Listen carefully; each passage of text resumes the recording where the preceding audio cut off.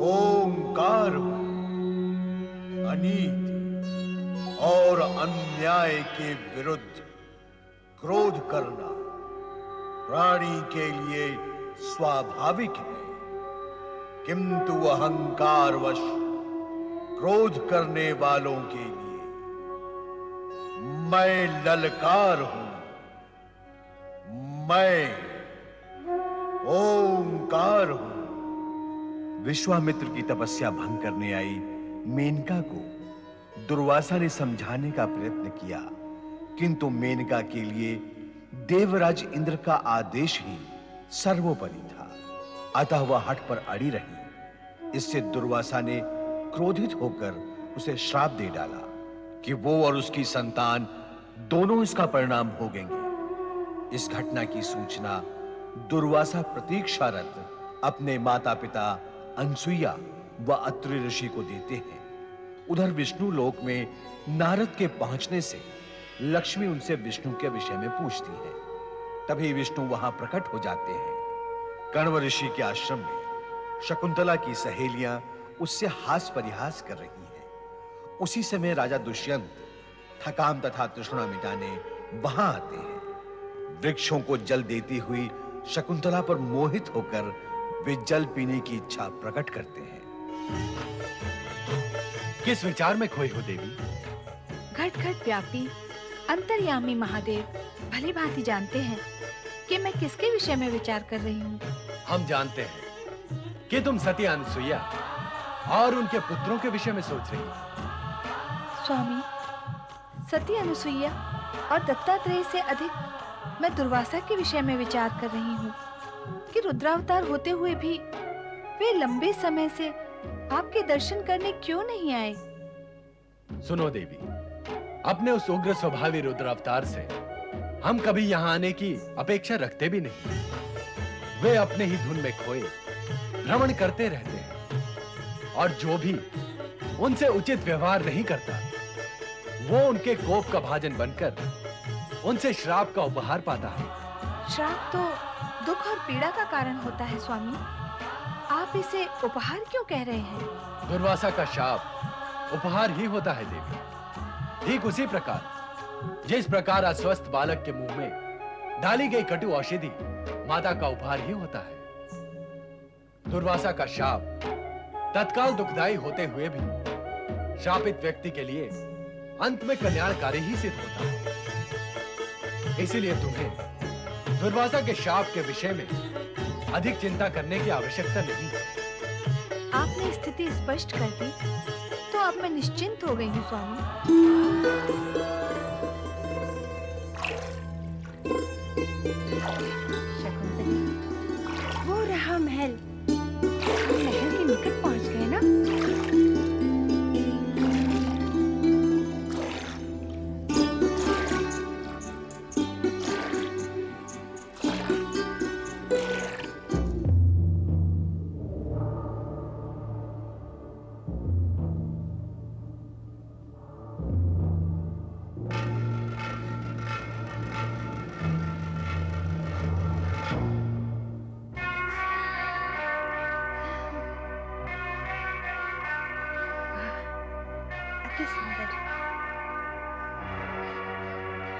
कौन हो तुम? कहाँ चले जा रहे हो? हमें महाराज दुष्यंत से मिलने जाना है। क्यों मिलना है महाराज से? अति आवश्यक है हमारा उनसे मिलना। और तुम हो कौन? कहाँ से आए हो? हम सब कण्व ऋषि के आश्रम से आए हैं। ये गौतमी माई है ये कण्व ऋषि की पुत्री शकुंतला है।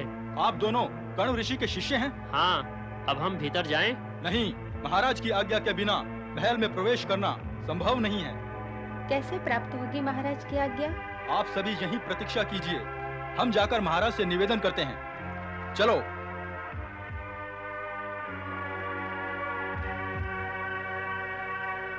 महाराज की जय हो। कहो प्रहरी। महाराज राजमहल के द्वार पर कुछ आश्रमवासी आए हुए हैं। कौन है ये आश्रमवासी? कण्व ऋषि के आश्रम से आए हैं। दो उनके शिष्य हैं एक उनकी पुत्री है शकुंतला और साथ में एक वृद्धा गौतमी माई है। शिष्य। शकुंतला? गौतमी माई? कौन है ये सब? ठीक है। वो जो भी हो हमारी आज्ञा है। उन्हें अंदर आने दिया जाए। जो आज्ञा महाराज। आप किस चिंता में पड़ गए महाराज? सोचते हैं कि आश्रमवासी अचानक हमसे भेंट करने कैसे चले आए? वन व्यवस्था। अथवा आश्रम के लिए कुछ सहायता की आवश्यकता होगी अथवा आप कभी आथलेट में गए होंगे तो वन में आश्रम वासियों पर कृपा करके सहायता देने का वचन दे आए होंगे। संभव है उसी उद्देश्य से आए हो? नहीं पुरोहित जी नहीं। हमने कभी किसी को ऐसा कोई वचन नहीं दिया। और न ही हम किसी गौतमी और शकुंतला को जानते। महाराज की जय, जय हो। जिन महापराक्रमी और चक्रवर्ती राजा की जय जयकार संपूर्ण आर्यावर्त में गूंज रही है। वे शकुंतला को नहीं जानते। कण्व ऋषि के आश्रम में आकर आपने जिससे गंधर्व विवाह किया आप उसको नहीं जानते? आप कहते हैं कि हमने कण्व ऋषि आश्रम में आकर इस स्त्री के साथ गंधर्व विवाह किया है? हाँ महाराज दुष्यंत। आश्रम में रहने वाली शकुंतला की सखिया ही नहीं। आश्रम के पशु पक्षी और पेड़ पौधे भी इस घटना के साक्षी है। आपसे गंधर्व विवाह करने के पश्चात शकुंतला अब गर्भवती हो चुकी है। इसलिए कण्व ऋषि ने निवेदन किया है कि आप इसे अपनी धर्मपत्नी के रूप में स्वीकार करें। आप जानती हैं? आप क्या कह रही हैं? जो सत्य है वो ही कह रही हूँ। नहीं। ये सत्य नहीं असत्य है। मिथ्या आरोप है। आप हस्तिनापुर के पूर्ववंशी राजा पर मिथ्या आरोप लगा रही हैं। हमने तो कभी कण्व आश्रम में प्रवेश भी नहीं किया। तो फिर इस स्त्री के साथ विवाह का तो कोई प्रश्न ही नहीं है। हमें लगता है कि हमारी राज रानी बनने का लोभ इस स्त्री को यहाँ तक खींच लाया है। और आप सबको इसने भ्रमित कर दिया। स्वामी, मुझ पर मिथ्या दोषारोपण न करें। आपने स्वयं के आश्रम में मुझसे प्रणय निवेदन किया था। क्या सब आप भूल गए?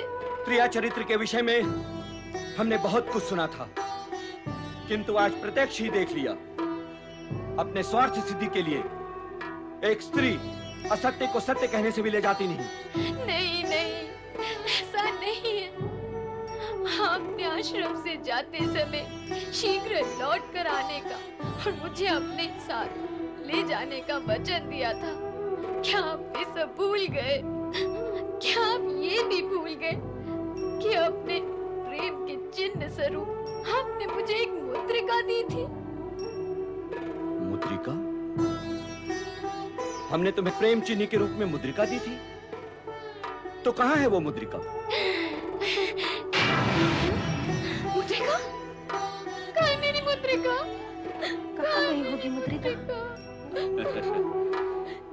कण्व ऋषि आश्रम में रहने का ढोंग करने वाली प्रवंचिका, तेरे नाट्य की कथा काल्पनिक है, जिसमें कोई पात्र ही नहीं। जिस मुद्रिका की तुम चर्चा कर रही हो, उसका तो कोई अस्तित्व ही नहीं। हम अपने राज्यसभा में किसी स्त्री का अपमान नहीं करना चाहते। इसीलिए कटु शब्दों का प्रयोग ना करते हुए इतना ही कहेंगे। कि तुम यहाँ से उसी मार्ग से लौट जाओ जिस मार्ग से आई थी। तुम गर्भवती हो इसीलिए। हम राज्य की ओर से तुम्हें आश्रय देने तथा प्रसूति की सुविधा देने का प्रबंध कर सकते हैं।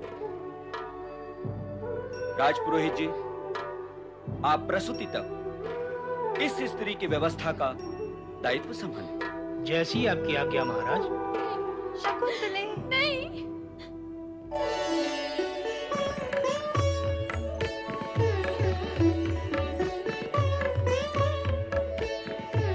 दिव्यांगना मेनका की अनुपस्थिति हो तो ये स्वर्ग लोग सोना सोना लगता है। क्यों देवी शची? हाँ और आज मेनका की उपस्थिति से ऐसा लगता है कि स्वर्ग में हर्षोल्लास का वातावरण जाग उठा है। नारायण नारायण। देवर्षि देवर्षि आप? चकित होने की कोई आवश्यकता नहीं है देवराज। मैं स्वर्गलोक में आया अवश्य हूँ। किंतु आपके पास नहीं। अर्थात? मैं कठोर और पाषाण हृदय माता के पास आया हूँ। उसकी सोई हुई चेतना जगाने के लिए। देवर्षि आपका आशय अभी भी स्पष्ट नहीं है। हो जाएगा देवराज। आप धैर्य रखें। दिव्यांगना अनश्वर मेनका मैं तुमसे प्रश्न कर रहा हूँ। जब तुम पृथ्वी पर गई थी तो अपनी अनश्वरता से उत्पन्न। नश्वर चिन्ह वहाँ क्यों छोड़कर आ गई? मातृत्व जो संपूर्ण जगत में अमृत का सार है, उसे अपमानित करने का अपराध क्यों कर डाला तुमने? तुम्हारा मानस यदि मातृत्व के भार को नहीं उठा सकता था तो फिर उसे स्पर्श करने की आवश्यकता भी क्या थी मेनका मातृत्व और वत्सलता को यदि तुम्हारी चेतना कक्ष में प्रवेश वर्जित था तो फिर पृथ्वी पर जाकर भोग की प्रवृत्ति को जागृत करने का कष्ट क्यों किया तुमने? यदि तुम्हें धरती से ऊपर ही रहना था और धरती की भांति जन्म देकर अपनी ही उत्पत्ति को अपने ही वक्ष से लगाने में यदि तुम्हें संकोच था मेनका तो फिर तुमने जन्म ही क्यों दिया उस मानव शरीर को? जो तुम्हारे दोष, निर्दोष होकर भी श्राप की, पीड़ा की भांति भुगत रही है।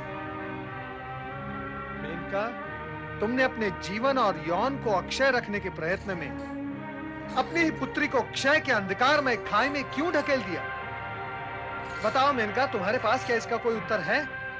मेरी विवशता को समझिए, देवर्षि। एक बार स्वर्ग लोक लौट आने के पश्चात मैं अपनी विगत भूलों को भूल जाना चाहती हूँ। पृथ्वी लोक और पृथ्वीवासियों से अब मेरा कोई संबंध नहीं। नारायण नारायण। स्थान और लोक के परिवर्तन हो जाने से मेनका लोक भावना, माता और पुत्र के संबंध में कोई परिवर्तन नहीं आता। यदि ऐसा होता तो जगत से माता, ममता और महानता ये तीनों समाप्त ही हो जाते। कौन बतलाएगा कि क्या दोष था उस निर्दोष शकुंतला का? तुम तो चली आई उसे धरती पर छोड़कर। किंतु तुम्हारे जाते ही दुर्भाग्य के क्रूर पंजों ने उसे अपने पाश में दबोच लिया। नवजात शिशु, हिंसक पशुओं के बीच, घनघोर वन में, नितांत अकेला। मातृत्व की आशा में अपने हाथ पाँव फेंकता रो रो कर करुणा का कल्पांत करता रहा। कल्याण करे विधाता उस कण्व ऋषि का, जिन्होंने समय पर वहाँ पहुंचकर उस नवजात बालिका को शरण दी। तत्पश्चात उसे अपने आश्रम में ले जाकर अपनी पुत्री की भांति उसका लालन पालन किया। सयानी हुई तो राजा दुष्यंत वहाँ पहुँचे। उस पर मोहित होकर अपने प्रेम का निवेदन करने, गंधर्व विवाह भी कर डाला। राजा दुष्यंत तो चले गए। परंतु उनके जाने के पश्चात उनकी मधुर स्मृतियों में खोई शकुंतला की झोली में आ गिरा ऋषि दुर्वासा का श्राप।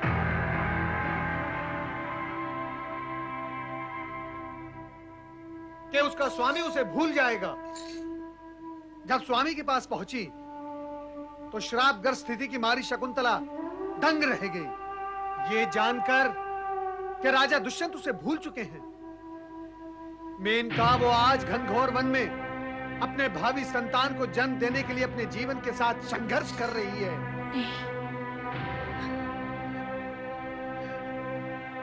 शकुंतले!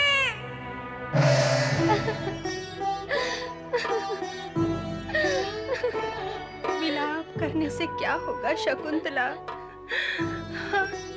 जब राजा दुष्यंत तुम्हें सुविधा प्रदान कर रहे थे तो फिर तुमने उसे अस्वीकार क्यों कर दिया?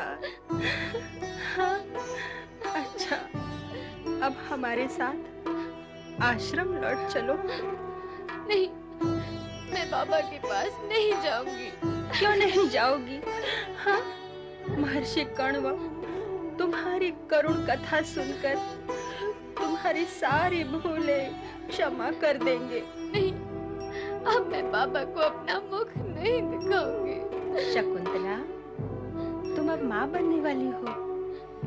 इधर उधर, कब तक, कहाँ तक भटकोगी, कहाँ तक भटकोगी? माता के होते हुए पुत्री को भटकने की क्या आवश्यकता है?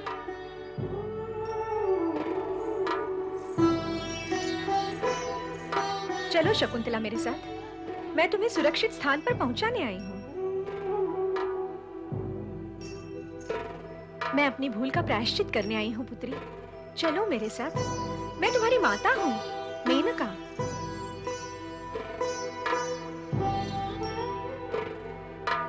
ये समय आश्चर्य और प्रश्न करने का नहीं है, शकुंतले। समय आने पर सब कुछ स्पष्ट हो जाएगा। तुम चलो मेरे साथ, पुत्री।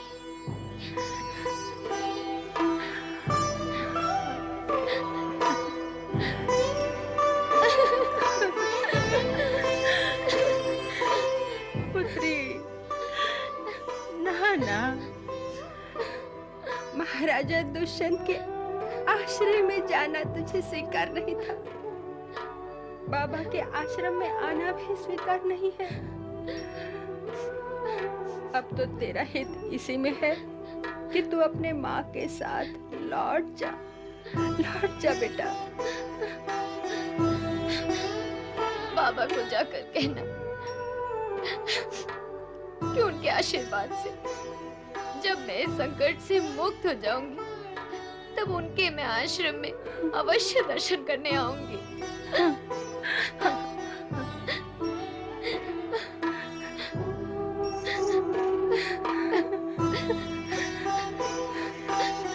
चलो पुत्री, चलो मेरे साथ।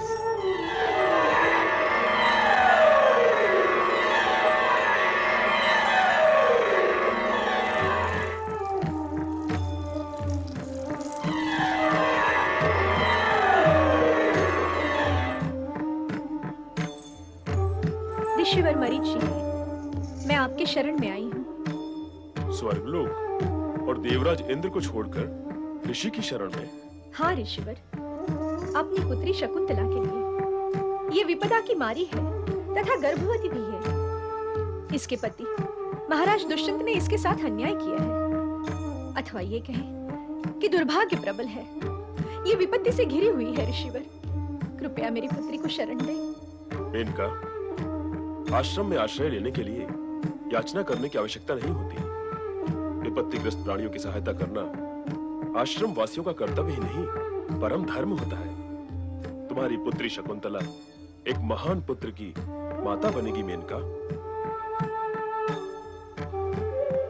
मेनका, उस महान पुत्र के आगमन के साथ ही इसकी सारी विपदाओं का अंत हो जाएगा। आपको कोटि कोटि धन्यवाद, ऋषिवर। शकुंतले।